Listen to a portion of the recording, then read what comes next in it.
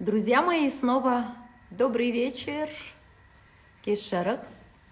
Сегодня у нас сразу три эфира, и все эфиры очень крутые, все эфиры полезные.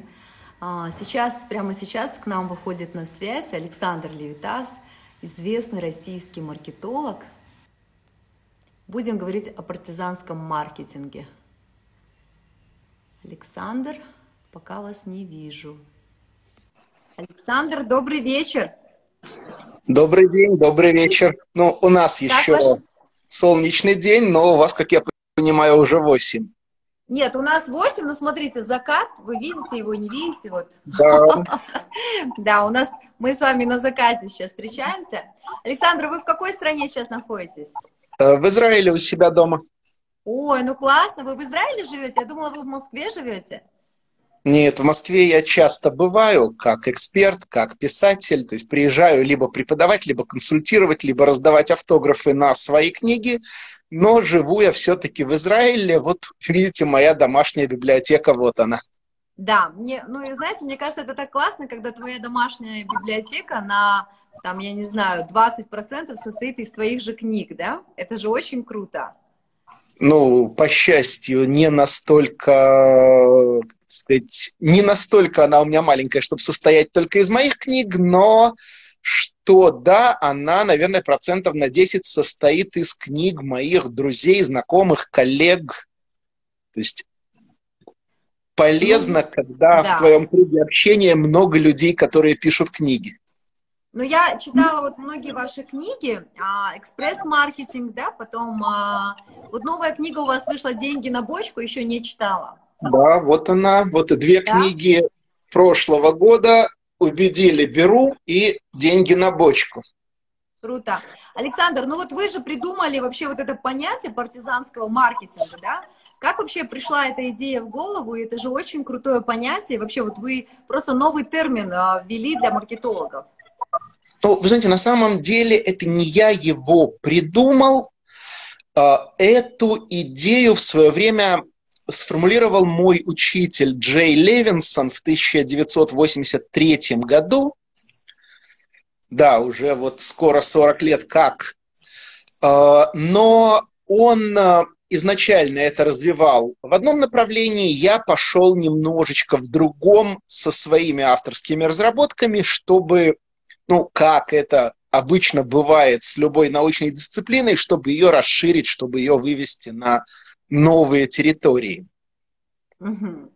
Но вы, а, вот я думала всегда, что это вы, то есть придумали, да, потому что а, вот те, те методы, которые вы предлагаете, да, очень интересно. Там даже один из методов, я помню, там на визитке, с одной стороны, мой, получается, там мои данные, да, то есть э, мое имя Динара Саджан, там мои данные, мой телефон, а с другой стороны, например, там а, моя подруга, да, там Элла Макатова и ее данные. То есть это такой вот как раз-таки вот один из ваших да, методов, да, да, да, да, вот, маркетинга.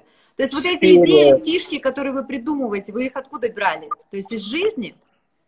Э, смотрите, есть несколько источников информации. Первое, учишься и просто берешь инструменты, которым тебя обучают. Но тут, конечно, очень важно корректно ссылаться на того, от кого ты их получил. Иначе ты не эксперт, а просто плагиатор. Второе – это вещи подсмотренные когда ты видишь где-то одно решение, второе решение, третье решение, и за этими решениями тебе открывается метод. Ну вот как физик видит, как с дерева падает яблоко, потом он задумывается, что точно так же падает и камень, точно так же падает любой другой предмет, который мы подняли и отпустили, и он говорит, ага, наверное, есть какая-то сила, которая их притягивает к земле.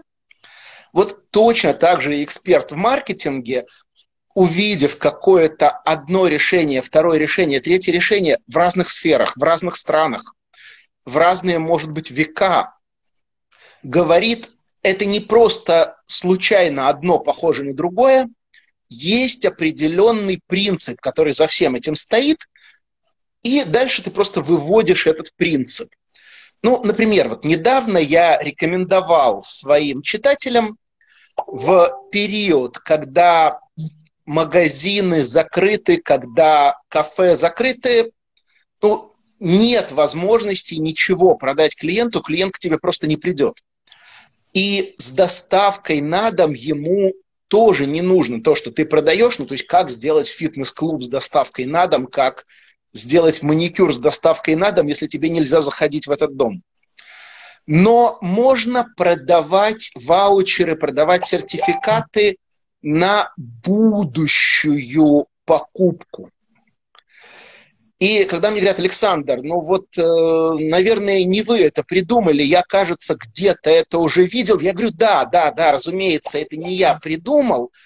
В шестом веке до нашей эры древнегреческий философ Фалес из Милета использовал уже этот прием то есть э, всего-то 2600 лет этот прием существует на рынке, но просто, если вы его раньше не использовали, вот я вам объясняю, как его можно использовать именно в вашем бизнесе. Угу. Это супер, кстати, потому что даже такое, казалось бы, вот просто несложное, да, а, вот несложный шаг для, для, для рестораторов, для вообще для любого человека, да, кто занимается бизнесом, чем просто сидеть, ну ты что-то сделай, да, то есть ты там Конечно. создай эти ваучеры и продавай. Но нас сейчас смотрят, а, наверное, молодые люди, которые, возможно, вообще не знают, что такое партизаны, да. Почему вот партизанский маркетинг? А, Все очень просто. А, это название пришло по аналогии с партизанской войной. Вот есть война тотальная, когда государство сражается с государством, у них есть танки, у них есть пушки, у них есть самолеты, боевые корабли, колоссальные ресурсы с одной и с другой стороны. А есть партизанская война, когда небольшой отряд, ограниченное количество людей и ни одного терять не хочется – оружия очень мало, новое взять негде, каждый патрон надо экономить, то есть танков, пушек нет, только ручное оружие. И понятно, что партизанская война ведется совсем по другим законам, совсем не так, как война традиционная. И точно так же в маркетинге, в бизнесе есть условные свои государства, то есть есть компании, у которых ресурсы, ну, наверное, сопоставимы или даже, может быть, больше, чем государственный бюджет Казахстана.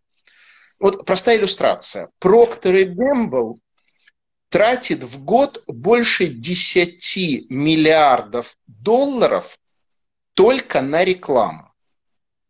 Ну, просто, чтобы да. было понятнее – вот ВВП Молдавии плюс ВВП Армении вместе взятые меньше рекламного бюджета компании Procter Gamble. Mm-hmm. И поэтому, когда Проктор ведет маркетинг, вот что называется, по Филиппу Котлеру, они говорят, окей, сейчас мы пустим пару миллионов долларов на исследования, по итогам этих исследований мы пару-тройку миллионов долларов пустим на разработку продукта, затем миллионов 10 долларов мы можем вложить в пробный запуск этого продукта, ну а там посмотрим, получилось или нет. Если нет, попробуем что-нибудь другое. А есть малый бизнес, малый бизнес, средний бизнес, который миллион долларов, ну, если где-то и видел, то только в кино про наркомафию. Когда чемодан денег передают, да. Вот э, я когда-то был такой момент в жизни, вот довелось проверить, вот в чемоданчик такой дипломат помещается 100-долларовыми банкнотами примерно 2 миллиона долларов. Угу. Вот. Поэтому, когда Проктор говорит, ну мы сейчас вот на разработку продукта пустим, скажем, 5 миллионов долларов, такую сумму вы даже в кино про наркобаронов тоже не видите, не говоря уже о том, чтобы ее рассматривать как свой бюджет. Поэтому нужны другие инструменты, другие подходы, другое отношение к маркетингу совсем не по Котлеру. Uh-huh. Ну, важно понимать, я с огромным уважением отношусь к Филиппу Котлеру, то есть для меня это не просто имя на обложке, я знаком uh-huh. с ним лично, я у него учился. Uh-huh. И да, он подтверждает, ну, собственно, странно было бы, если бы он это не подтвердил, что маркетинг по Котлеру, маркетинг, как его преподают на программах MBA, Это для больших. Это для тех, кто оперирует миллионами и десятками миллионов долларов. Для тех, кто может содержать маркетинговый отдел, либо нанимать маркетинговое агентство, а для малого бизнеса это не подходит, и для малого бизнеса с его скромными бюджетами инструменты партизанского маркетинга подходят гораздо больше. Это даже Филипп Котлер признает. Ну, это очень круто, что вы вообще придумали такое понятие, да, ну, то есть как-то его развили, раз, распространили. И мы вот о, о партизанском маркетинге знаем только вот от Левитаса, да. И, кстати, сегодня и вчера вы должны были быть в Нур-Султане. Да, У вас так должны и... были пройти семинары. Вот я, кстати, собиралась к вам на семинар, в итоге, видите, мысли материализуются. В любом случае, я сейчас с вами веду прямой эфир. У вас должны, пройти, должны были пройти в Риксосе два семинара «Как увеличить прибыль быстро» за 28 дней, да, и второй тренинг про бизнес-процессы. Вот сейчас э, мы находимся, честно говоря, в кризисе, да, и понятно, что если даже кто-то зарабатывает, продает там сертификаты, онлайн-продажи, все равно это не те деньги, которые были до коронавируса, да. Вот как сейчас увеличить прибыль, как вообще вот просто быть в этом процессе, да, зарабат... остаться в процессе зарабатывания денег? Ну, смотрите, давайте сразу э, разделим все компании на две категории. Те, кто может нормально сейчас действовать, ну, я не очень представляю себе ситуацию в Казахстане, но я подозреваю, что она похожа на то, что мы видим в Москве, похожа на то, что мы видим в Израиле, когда фитнес-клубы закрыты, кинотеатры закрыты, торговые центры закрыты, самолеты не летают. И поэтому у нас есть две категории бизнесов. Первая категория – это те, кому сейчас можно работать как обычно. Это любая доставка, это интернет-магазины, это аптеки, это продуктовые магазины, то есть все те, чья работа по большому счету не изменилось. То есть они как до карантина работали, так могут продолжать. И для них, в принципе, все обычные маркетинговые инструменты, в том числе и то, о чем я пишу в книгах, в том числе и то, о чем я рассказываю на семинарах, можно продолжать использовать как обычно, ничего принципиально не изменилось. А с другой стороны, есть компании, которые не могут сейчас вести свою обычную деятельность, ну вот как тот же фитнес-клуб, например, или как тот же ресторан. И вот эти компании тоже нужно разделить на две категории. Первая категория – это те, кто может под ситуацию подстроиться. И вторая категория – это те, кому нужно просто пересидеть. Вот нечего делать, только пересидеть. Ну, например, вот, допустим, у вас кинотеатр. Угу. Вы не можете организовать доставку фильмов на дом, вы не можете перестать показывать кино и вместо этого начать торговать масками. Вы просто вешаете большой замок на дверь и ждете, пока карантин закончится, а на этот период минимизируете свои издержки. Угу. Единственный, наверное, рабочий инструмент, который позволяет в этой ситуации, ну, скажем, тому же кинотеатру деньги зарабатывать, это продажи сертификатов на будущие билеты, абонементов на будущие билеты, то, что мы с вами сегодня уже упоминали. Вторая категория – это те бизнесы, которые могут как-то подстроить свою активность. И вот им нужно использовать несколько достаточно простых, в общем-то, стратегий. То есть первая стратегия – это прийти к клиенту. То есть, если я раньше работал, вот я сижу у себя в магазине, клиенты ко мне приходят, что им нужно, берут, сами уносят, ну, ближайшие несколько недель, возможно, если не повезет, то и пару месяцев, такой возможности не будет. Но я могу начать интернет-торговлю, я могу начать использовать активно курьерскую доставку, я могу, если у меня есть клиентская база, если у меня люди делают покупки по своим каким-то карточкам, и я знаю, кто что покупал, я могу с ними связаться, сказать, слушай, у тебя, наверное, уже вот это заканчивается, вот это заканчивается, вот это заканчивается, давай я тебе привезу. Угу. Вторая стратегия – это адаптация своего продукта под то, что нужно рынку сейчас. Угу. Ну, наверное, самый простой, самый понятный пример. Один из моих клиентов занимался пошивом всякого разного на заказ. Ну, такое швейное ателье, возможность заказать какую-то вещь индивидуально, возможность заказать какие-то малые партии. Ну, и тут, понятно, замок на двери, клиенты не ходят. У него есть швейные машинки, нитки, ткани, есть люди, которые умеют шить – он быстренько переключился на маски карантинные, и эти маски у него разлетаются, вот только успевая отгружать. Ну вот я то же самое, кстати, сделала. Я же занимаюсь 10 лет э, продвижением казахстанских дизайнеров. У меня и свой бренд одежды есть. И мы еще где-то в середине марта, когда вот э, предчувствовали, вот, что что-то надвигается, да, я понимала, что платье шить вообще не, ну, то есть не имеет смысла, да, мы приостановили производство, я сказала, давайте переключимся на маски. Вот наш конструктор разработала классную маску, мы сшили эти маски, хотя меня многие обвиняли в том, что какого, вот какая вы бесстыжая, шьете маски, мы сначала подарили эти маски то есть людям, которые, которые продолжают работать, да, и, конечно же, продавали, потому что это действительно дефицитный как бы товар. Я вот, например, свою маску уже полтора месяца ношу и спокойненько в ней хожу там за продуктами, да. А, ну, я надеюсь, ну, что вы ее стирать не забываете. Я ее стираю каждый день. Вот если я вышла, ну, в смысле, я не каждый день выхожу, если я выхожу за продуктами, я пришла, то есть перчатки, маска, то есть, знаете, новый формат жизни, да, новый лук, скажем.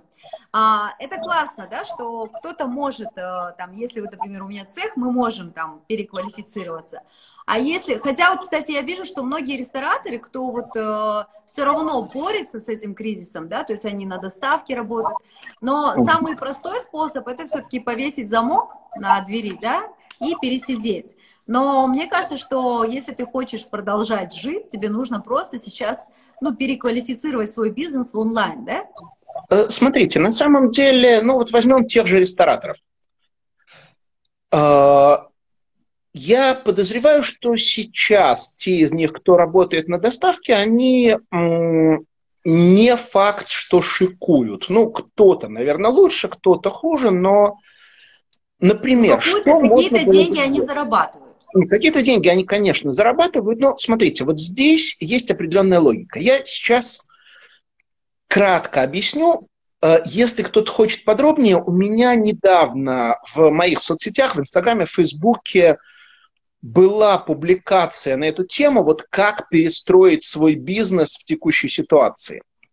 А, кстати, давайте устроим заодно такую акцию, розыгрыш моих книг среди тех, кто нас смотрит, слушает. Видите, мои книги, книга «178 способов продаж», книга «120 способов быстро поднять прибыль», книга «230 способов заработать больше денег».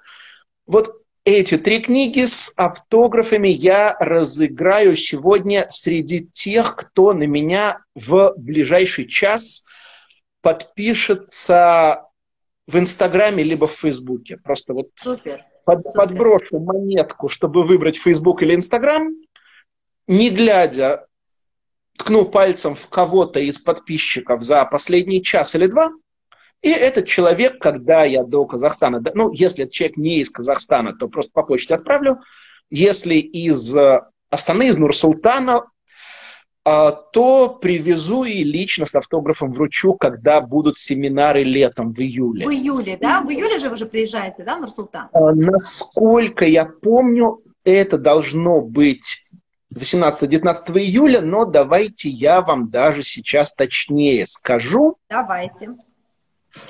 Это круто, что вы даете такой шанс, э, потому что я считаю, что сейчас самое время, вообще проиграет любой, кто не учится. Проиграет. Я каждый день выхожу в прямые эфиры, Александр, вы не поверите, у меня уже по три эфира. Раньше у меня был один эфир в день, теперь потом два, теперь три эфира. То есть я сама понимаю, что мне нужны сейчас новые знания, новые мысли, новые какие-то интересные идеи, да, и вот благодаря таким людям, как вы, ресурсным, да, которые как-то вот визионерски вот видят э, будущее, да, предчувствуют, это очень круто. Какого числа вы будете? Вот, 18 и 19 только не апреля, а июля я прилечу в Нур-Султан и проведу запланированные семинары, ну вот просто на несколько месяцев позже с учетом всей этой карантинной суеты. Я ну, очень хорошо. надеюсь, что к этому времени самолеты уже продолжат летать. Да, а, я знаю, вот. что билеты можно приобрести на сайте levitas.kz, друзья. Поэтому вы можете зайти на сайт levitas.kz и приобрести билеты. А я а, разыграю на своей странице два билета на ваш семинар, окей? Договорились. Вы, вы книги разыгрываете, я ваши билеты. Давайте да. поговорим вот, о, об экспресс-маркетинге. Вас... Позвольте, я просто продолжу буквально минуту про рестораторов. Раз уж я начал, я подозреваю, да, да, что да, нас да. слушают в том числе и владельцы ресторанов и кафе. А, смотрите, вот простая вещь. А, ну, я очень коротко принцип объясню, подробнее можно найти у меня в Инстаграме. Смотрим, что у нас есть, какие ресурсы, какие люди, какие компетенции. Говорим, окей, то, что я делал вчера, я сегодня делать не могу, что другое я могу сделать с теми же знаниями, навыками, инструментами, материалами. Вот, соответственно, ресторатор, у него есть повар, кухня, запас продуктов. Что он может сделать, кроме как вот красиво кусочек мяса и две картошины выложить на большую красивую тарелку, добавить веточку розмарина, капнуть три капли бальзамика? Можно, например, перейти в режим кулинарии. Потому что, вот представьте, я сейчас веду с вами эфир, и, допустим, я через полчаса пойму, что я хочу есть. Угу. И то ли я скажу себе, о, я могу сейчас позвонить в ресторан, и мне через час, еще через час привезут готовую еду, и мне, чтобы нормально наесться, придется взять, ну, хотя бы две порции, то есть, там, допустим, первое и второе, или там горячий салат, и мне это обойдется долларов в 20-30 как минимум, то ли я пойду на кухню, поставлю кастрюлю на огонь, брошу в нее спагетти, пока они варятся, открою баночку тунца, и через 5-6 минут у меня уже есть горячая еда. Да.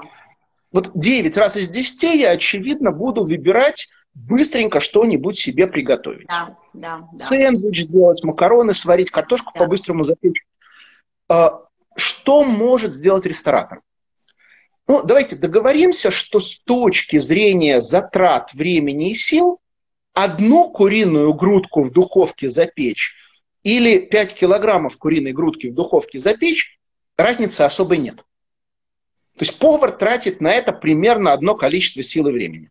Да. И если бы рестораны, вот те, в которых я привык, те, чья карточка у меня есть. Те, кто мне иногда присылает письма, там, Александр, поздравляем вас с днем рождения. Если бы эти рестораны мне написали, Александр, вот мы готовы вам раз в неделю привозить еды на неделю, чтобы вам не нужно было готовить, а достаточно было ее разогреть. Вот там 4-5 видов блюд и привозим сразу по килограмму куриной грудки, сразу по килограмму картошки, сразу по килограмму а, и чтобы это была не ресторанная цена 15 долларов за порцию, а чтобы это была цена кулинарии, то, в принципе, я бы, скорее всего, согласился, потому что я в этой ситуации стараюсь лишний раз из дома не выходить, но вот разве что во дворе спортом заняться немножко, чтобы не слишком деревенеть, пока я на карантине. И поэтому мне было бы очень удобно, если бы у меня еда была готовая в холодильнике, чтобы я ее за две минуты мог в микроволновке разогреть и был готов обед или ужин. То есть вы предлагаете поработать э, ресторатором с клиентской базой? Сделать две вещи. Во-первых, поработать с клиентской базой. Во-вторых, продукт предложить для клиентской базы удобный, более дешевый, более подходящий к ситуации. Но если мне сейчас кто-то скажет, кто-то наверняка сейчас из рестораторов сидит и думает, ага, Левитас, какой ты умный, на одну куриную грудку с двумя картошинами я могу вот такую наценку сделать, а на еду по цене кулинарии наценка будет вот такая. Это правда. Но когда ты мне продаешь сразу килограмм куриной грудки, то вот эта вот наценка, умноженная на объем покупки, она тебе все еще дает хорошую прибыль. Да. То есть эконом-продукты не обязаны быть низкомаржинальными, они могут быть для вас же выгоднее, чем дорогой продукт, который покупают редко. Поэтому, если у какого-то ресторана не догружена кухня, большую часть времени простаивает персонал, простаивает оборудование, можно включить режим кулинарии, и я не удивлюсь, если вы на этом заработаете больше, чем на обычной доставке. Угу. Да, ну, это очень, это очень крутое предложение, и вообще вот классно, вот для чего нужны маркетологи, да, на которых экономят абсолютно все компании, да, то есть считаю, что, ну, там, маркетинг, реклама, то есть человек может открыть крутой ресторан, а, там, я не знаю, вложить деньги в мебель, я не знаю, там, в посуду, да, э, привести классного повара и взять какого-нибудь там а, маркетолога, выпускника, там, я не знаю, человека без опыта, и все. И, или же вообще не брать маркетолога, да, то есть вот расскажите нам, как важно иметь в компании или же даже не, не в компании, на фрилансе маркетолога, который тебе будет подсказывать вот такие креативные, интересные идеи. Ну, смотрите, э, на самом деле все чуть чуть сложнее или, наоборот, чуть-чуть проще. То есть кто-то в компании должен обладать маркетинговыми компетенциями. Для малого бизнеса это часто, собственно, сам владелец. То есть если мы говорим про бизнес, который прям вот совсем маленький, у них просто нет бюджета на то, чтобы добавить еще и штатную позицию маркетолога. Но кто-то в компании все равно маркетингом должен заниматься, и в этом случае, как правило, это сам владелец. То есть он должен читать хорошие книги по маркетингу, он должен посещать какие-то обучающие мероприятия по маркетингу, чтобы хотя бы базовыми инструментами маркетинга овладеть. Uh-huh. Ну, я, естественно, естественно, в первую очередь порекомендую свои книги. И, кстати, господа, я напоминаю, мы с Динарой сегодня разыгрываем набор моих книг среди тех, кто подпишется на меня, пока идет наш прямой эфир.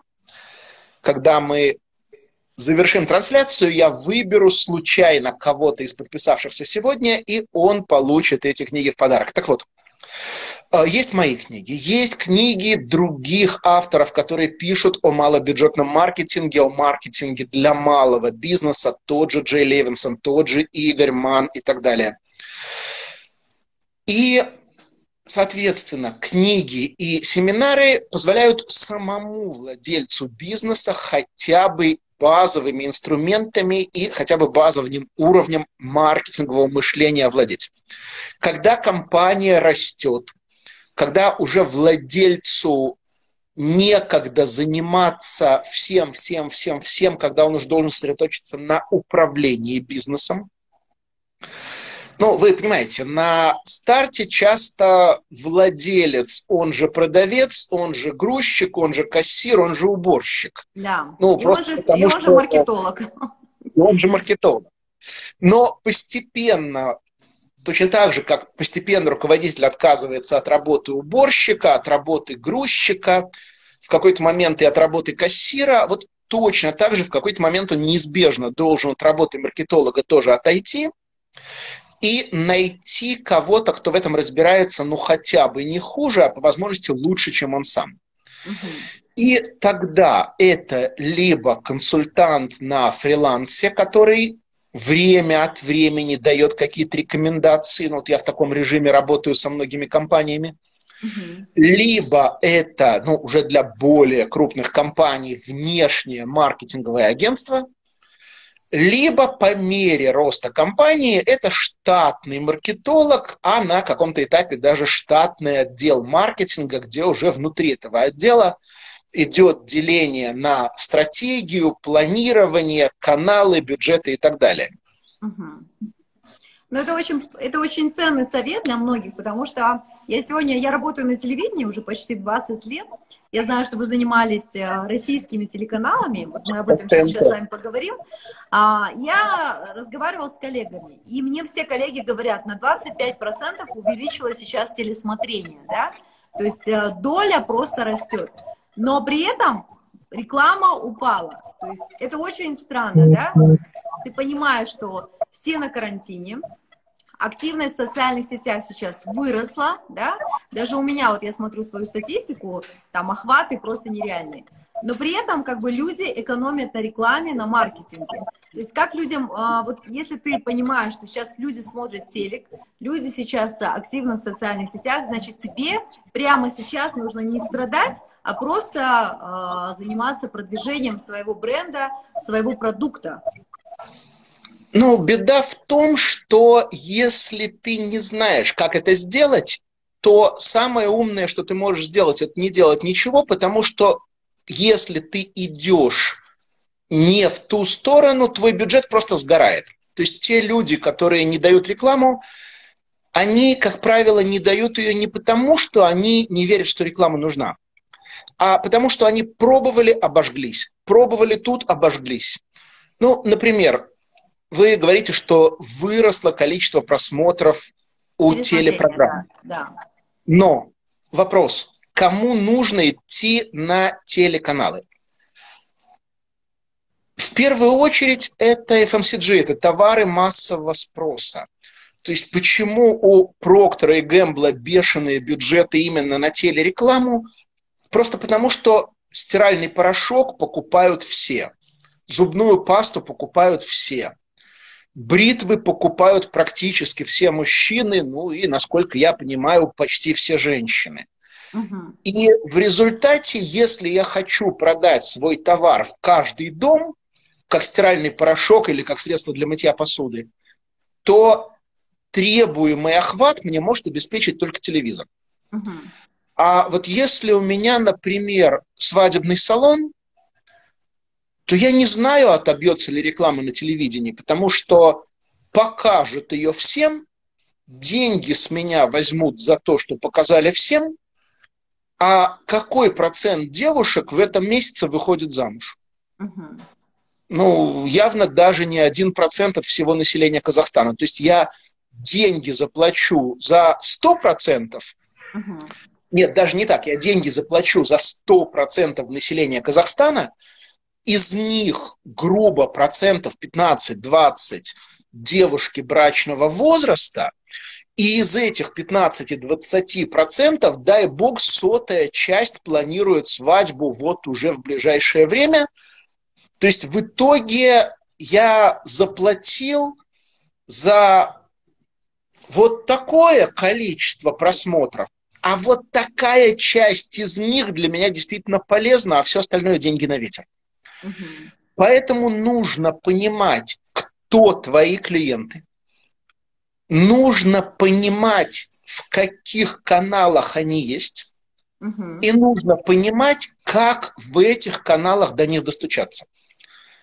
То есть, да, понятно, сейчас большая часть людей младше 50 так или иначе находится в соцсетях. Но все равно надо понять, а в какой соцсети именно мои люди?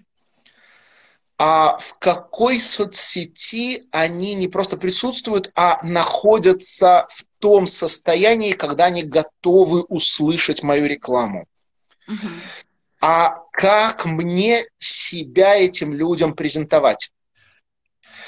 И вот это нужно понимать, прежде чем ты расстегиваешь кошелек и платишь за рекламу. И либо это понимаешь ты сам, либо это должен понимать твой маркетолог, неважно, штатный маркетолог или консультант. Смотрите, ну даже возьмем простейшую вещь. Я подозреваю, что если зрителей нашего эфира сейчас спросить, скажите, а что такое маркетинг вообще, за что отвечает в компании маркетолог? Ну, вот давайте предложим людям сейчас написать в чате, если мы давайте. увидим чат. Друзья, вот очень простой вопрос. За что в компании отвечает маркетолог? Как бы вы это сформулировали одной короткой строчкой? Угу. за что в компании отвечает маркетолог. Мое мнение, он отвечает за продажи. То есть он а, должен что-то такое придумать уникальное, чтобы это подняло твои продажи. Потому что без маркетинга я сама, а, можно сказать, сам себе маркетолог, да, я знаю, что если я свою вещь не сделаю модной и не сделаю ее такой супер интересной, да, то она не будет продаваться. Смотрите, тут на самом деле есть один подвох. В чем он заключается? Если за продажи отвечает маркетолог, то за что тогда отвечает продавец? Ну, то есть, согласитесь, что-то здесь не Продавец сходится. для меня, он на финише, то есть он должен классно обслужить и, а, ну, то есть, я не знаю, там оставить супер впечатление, да, чтобы человек потом вернулся.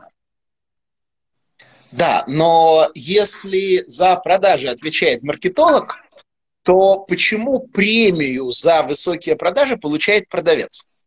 То есть что-то здесь немножечко не сошлось. А, так вот, если спросить меня, Александр, вот в двух словах, маркетинг это вообще про что? Маркетинг это про увеличение прибыли. Угу. У вас уже есть какой-то бизнес, он как-то работает, какие-то деньги он уже приносит, какие-то продажи у него уже есть. Но когда в работу включается маркетолог, прибыль, чистая прибыль компании должна вырасти она может вырасти за счет роста продаж. Она может вырасти за счет маржинальности.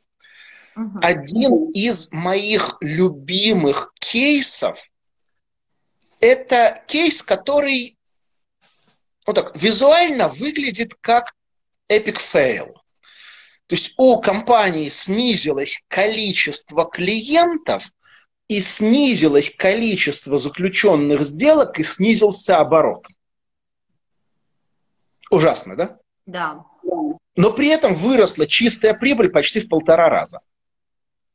А, Причем сделали мы очень простую вещь. Угу. Мы с клиентом провели тестирование цены и просто поняли, на какие товары цену можно поднять.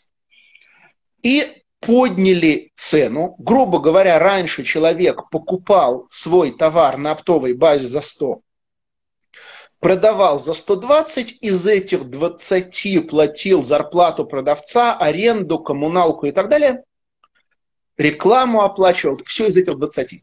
Угу. И оставалось ему, ну, допустим, 3.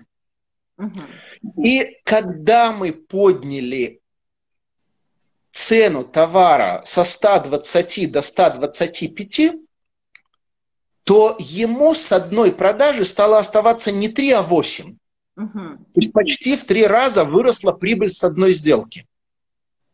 Но при этом более дорогой товар стали покупать меньше, угу. и поэтому количество сделок снизилось, но количество чистой прибыли, которую в конце месяца владелец бизнеса клал на свой банковский счет, выросла в полтора раза.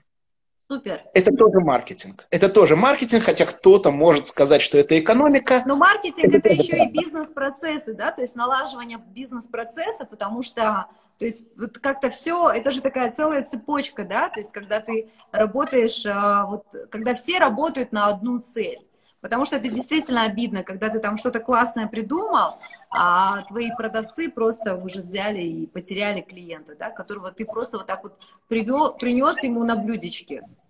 Ну, смотрите, здесь я, наверное, не соглашусь. То есть бизнес-процессы – это некая отдельная совершенно тема. Ну, вот у вас, например, есть бизнес-процессы в швейной мастерской. Вот если у вас да. кто-то платье шьет, то у него есть некая технология работы. Как он нитку в швейную машинку заправляет, как он строчку проводит, чтобы она была ровная, как он ткань загибает, подрезает. То есть это все некая технология. Если ее нарушить, платье будет некрасивым, его не захотят купить, либо его придется Это просто испорченные, испорченные материалы. Вот. И то, как каждый делает свою работу и то, как действия одного, второго, третьего, четвертого работника выстраиваются в правильную технологическую цепочку, вот это вот бизнес-процессы. И неважно, говорим ли мы про бизнес-процессы на складе, в мастерской, в торговом зале, в отделе маркетинга, или даже бизнес-процессы управленческие, или бизнес-процессы в бухгалтерии. Есть определенная логика, которая должна работать во всех этих случаях. Угу. Во-первых, должна быть простроена правильная схема работы бизнеса в целом. Угу. То есть владелец бизнеса должен четко понимать, как все должно работать, как оно должно между собой взаимодействовать, и должен организовать работу людей согласно этой схеме. То есть первично схема, часто она у владельца в голове, но продуктивнее ее вынести на бумагу. Угу. На бумагу, в компьютер, чтобы можно было потом кому-то эту бумагу передать, и человек мог бы взять на себя роль организатора вместо владельца угу. во всем бизнесе или в отдельных подразделениях. Затем, когда у нас есть общая схема, когда мы понимаем, что должно быть сделано, важно объяснить работникам, как это должно быть сделано.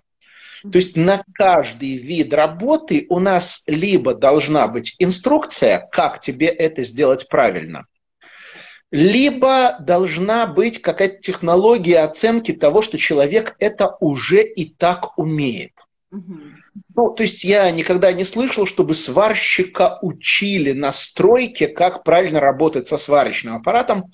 Предполагается, что в ПТУ или в техникуме он это все уже освоил, но чтобы мы были уверены, что он все делает правильно, мы его должны проверить при найме. Угу. Убедиться, что он правда умеет работать на том уровне, который нас устраивает. Дальше нам нужно наладить контроль. То есть мы должны быть способны проверить, что каждый человек и каждое подразделение в целом делают то, что надо, так, как надо. И затем у нас должны быть еще два элемента нашего пазла. Это инструменты. Ну, вы понимаете, если вам надо копать, ну, например, котлован под фундамент здания, в принципе, это можно сделать столовыми ложками. Но лопатами будет быстрее, чем ложкой, экскаватором будет быстрее, чем лопатой. Угу. То есть мы должны понимать характер работы и объем работы, и мы должны подобрать инструменты, максимально подходящие под нашу ситуацию. И, наконец, мотивация. Нам недостаточно объяснить людям, что надо делать. Нам еще важно, чтобы они сами хотели делать свою работу хорошо и правильно, даже если я им в этот момент не дышу в ухо. Угу. И вот когда у нас собрался пазл, есть отлаженная схема того, как все должно работать, есть инструкции, есть инструменты, люди замотивированы, мы снабдили их правильными инструментами, и мы их замотивировали делать то, что нужно, и мы контролируем то, что все делается как надо, вот в этот момент мы говорим, ага, у нас получилось отладить бизнес-процессы в компании. Но сейчас как раз есть время, да, для того, чтобы проанализировать вообще свои бизнес-процессы, что у тебя идет не так, и вот переписать свою стратегию, да, своего бизнеса. Где маркетингу, маркетингу, да, нужно отнести, ну, то есть отвести такое большое время, ну, то есть, я не знаю, вот давайте спросим у наших подписчиков, которые сейчас смотрят а, наш эфир, вот, вообще вот э, используете ли вы, я уверена, что у многих есть бизнес, вот какие бюджеты вы тратите на маркетинг и как правильно, вот, Александр, вообще а, инвестировать в маркетинг, да? Потому что маркетолог может сказать, там, давай сюда, давай вот у блогеров закажем рекламу, давай таргет запустим, и все, все будет хорошо, мы увеличим твои продажи. То есть, э, э... Динара, давайте только сразу договоримся об одном маленьком нюансе. Э, давайте. Давайте разделим бюджет на маркетинг и бюджет на рекламу. Давайте.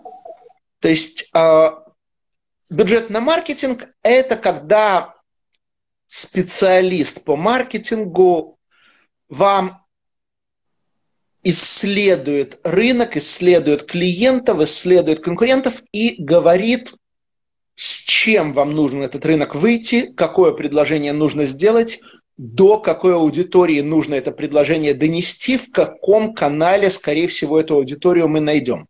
Угу. И вот то, что мы тратим на эту работу, это бюджет на маркетинг. Когда после этого мы, приняв решение, что мы, например, идем к блогерам в Инстаграм и заказываем у них рекламу, чтобы они рассказали о своем опыте использования продукта и, например, дали какой-то промокод как подарок от своего имени, вот с этого момента кто-то садится и начинает стучаться к блогерам, говорит, здравствуйте, Динара, мы бы хотели вас привлечь в рекламе нашего продукта, вот э, на каких условиях мы могли бы это сделать? И когда вы говорите, ну вот э, я обычно беру за публикацию вот столько денег, вот это уже бюджет на рекламу. Это уже не тот бюджет, который пошел на маркетинг, это уже бюджет, который пошел на размещение. Ну, я обычно даю, а, то есть если ко мне выходит а, такой рекламодатель, скажем, крупный, я люблю годовые рекламные контракты, мы сразу прописываем стратегию, и я становлюсь чуть ли не вообще сотрудником этой компании, потому что я участвую во всех их активностях, да.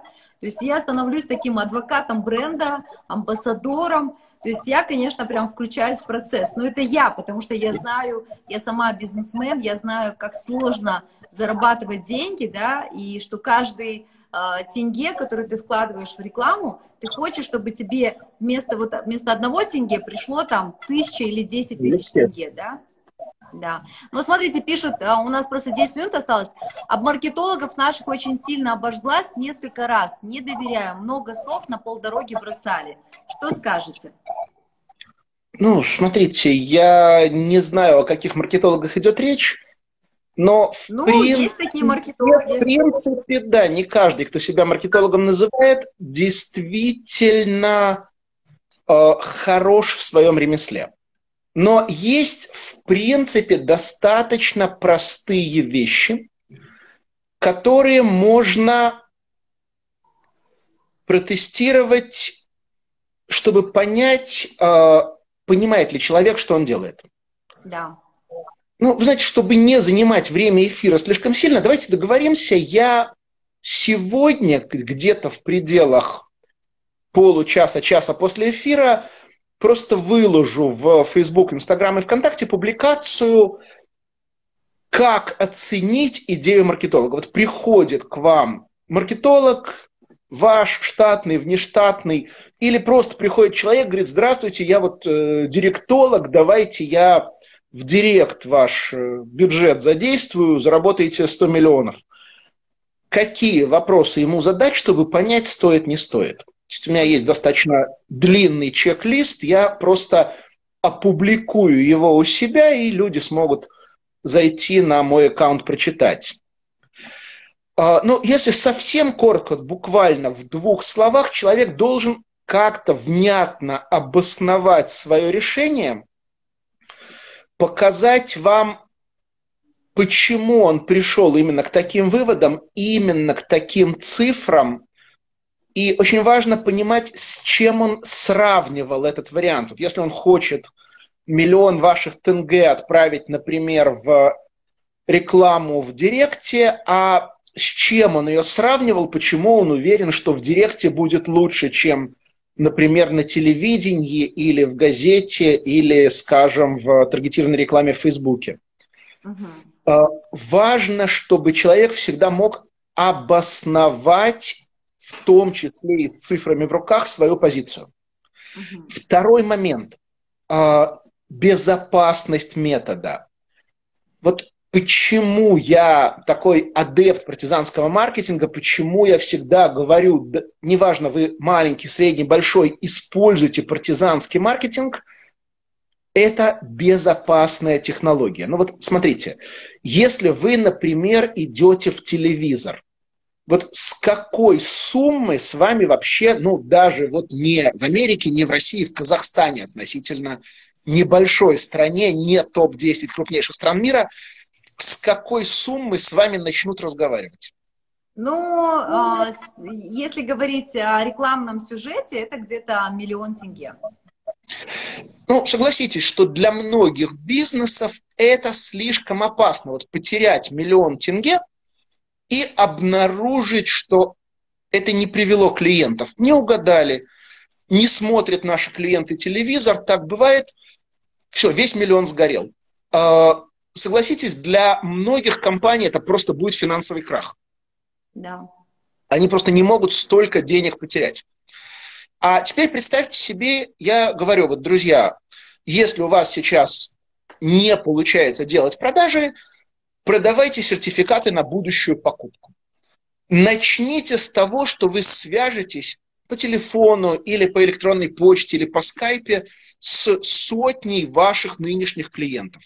Угу. Предложите им, купи у меня сегодня за 10 тысяч тенге сертификат на любую покупку на 12 тысяч тенге, ну, начиная вот с момента снятия карантина.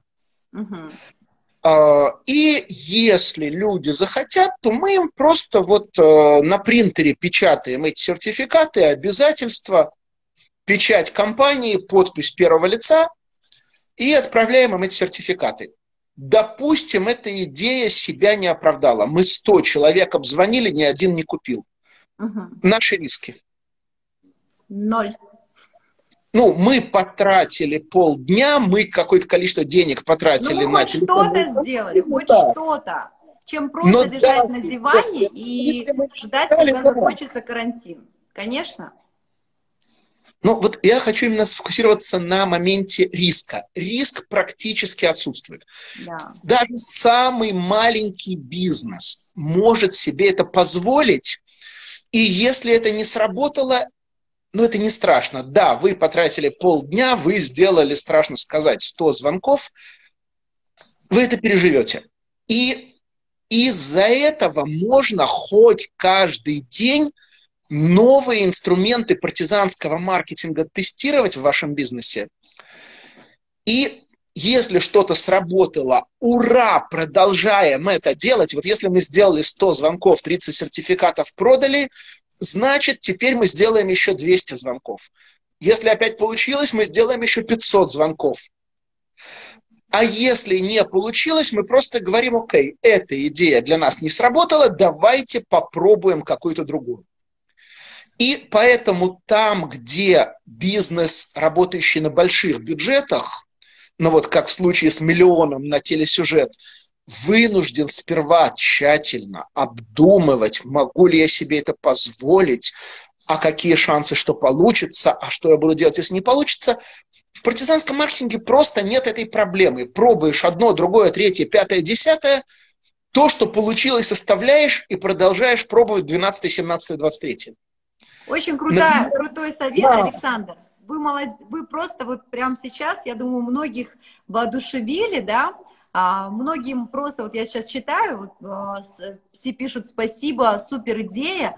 Реально многие, вот просто, казалось бы, это же самое легкое, да, у кого-то есть CRM-система, да, где вообще просто не надо даже там, а, ты просто написал сообщение я и разослал. Да, кнопку нажал.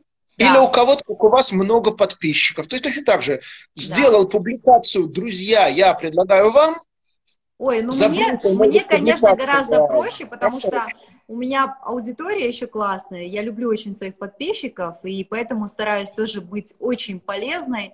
Мы все друг другу, знаете, у меня такая аудитория, мы, у нас а, взаимовыгодное а, телесмотрение. Александр, спасибо вам большое, мы ждем вас а, 18 июля. Да, с удовольствием. И, друзья, напомню, мы с Динарой разыгрываем набор моих книг сегодня еще есть возможность успеть подписаться на меня в Фейсбуке и Инстаграме, и через где-то полчаса, чтобы вы все успели, я выберу случайно одного из подписчиков, и он получит три моих книги, в которых собраны полтысячи советов по маркетингу. Я тоже ну, хочу. А... Но я, когда вы приедете в июле, я Когда я приеду, конечно, с да. удовольствием. Александр, вот, спасибо друзья, вам большое. Друзья, да, подписываемся на Александра Левитаса прямо сейчас. А, через полчаса Александр обещал нам написать пост, как взять на работу правильного маркетолога, и проведет у себя розыгрыш, а, разыграет свои книги. Поэтому я думаю, что будет очень а, продуктивно для каждого из нас. Александр, мы ну, ждем а вас в июле. июле. В июле, да, ждем ваших подписчиков, наших зрителей. 18-19 июля на моих семинарах в Риксос в Нур-Султане. Да, билеты можно приобрести на сайте levitas.kz. Да, Александр? Спасибо да. вам большое, Александр. У меня сейчас будет еще один эфир а, с профессором МГУ, доктором психологических наук Али, а, Тахиром Юсуповичем Базаровым. Будем говорить о лидерстве, о воспитании детей, поэтому тоже присоотняйтесь к нам. Спасибо. Спасибо большое. Спасибо. Я сохраню эфир. Я, кстати, друзья, все эфиры сейчас сохраняю и буду публиковать у себя на YouTube, поэтому подписывайтесь на мой YouTube канал. Ну и Спасибо. до встречи живьем До встречи в июле. Увидимся в июле в Нур-Султане. Спасибо большое. С нами сегодня был Александр Левитас. Всего доброго.